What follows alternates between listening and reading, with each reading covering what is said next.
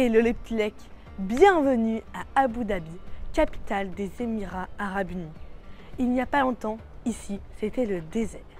Mais grâce au pétrole qui se trouve dans ces sols, Abu Dhabi s'est métamorphosé en une ville moderne et ouverte sur le monde.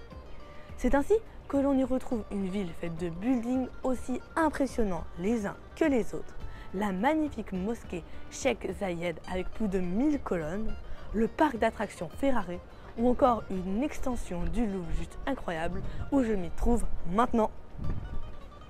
Mais à Abu Dhabi, vous retrouverez également une histoire riche et passionnante, celle des Bédouins, nomades arabes qui traversaient le désert.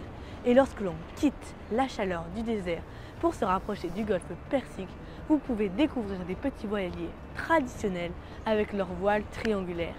Ces bateaux se nomment des boutres. Pourquoi est-ce que je vous parle de tout ça Aujourd'hui, je vous propose de découvrir le roman Les mystères des boutres d'Abu Dhabi. C'est un livre sympa, très facile à lire, que l'on peut, que l'on peut lire dès 8 ans, mais également très agréable pour les plus grands. Roman d'espionnage, il a été écrit par Jean-Marie Albert, autrefois officier spécialiste dans l'antiterrorisme. Il a écrit plusieurs romans pour adultes comme Le péril et l'infiltration.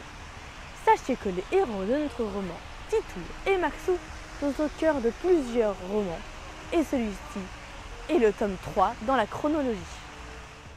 Jean-Marie Albert nous conte l'histoire d'une famille qui décide de déménager aux Émirats arabes unis, plus précisément à Abu Dhabi.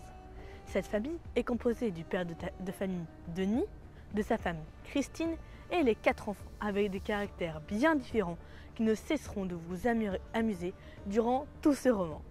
Maxou est très créatif et c'est un véritable leader. Titou, âgé de 11 ans, a un petit air espiègle et une admiration débordante pour son frère Maxou. Rémi, l'aîné de la fratrie, est le messager privilégié entre les parents et les enfants. Il est très intelligent et s'en donne volontiers l'allure. Et enfin, il reste Marine, une belle jeune fille de 14 ans. Notre histoire se passe durant les grandes vacances. Alors que la fratrie découvre leur nouvelle vie, ils sont tous surexcités. Titou et Maxon n'ont aucun problème à s'acclimater à leur environnement et trouvent toujours de nouvelles idées pour pimenter leur quotidien et celui de leurs proches. Bientôt, Abu Dhabi n'a plus de secret pour eux et ils se rendent compte que quelque chose se trame du côté du port certains pêcheurs semblent se livrer à un étrange trafic. Malgré les ennuis qui se profilent, nos deux héros peuvent s'empêcher de mettre leur nez dans des affaires qui ne les regardent pas. Allez, je vous laisse découvrir les aventures et vous donne rendez-vous très bientôt. Bye bye les petits lecs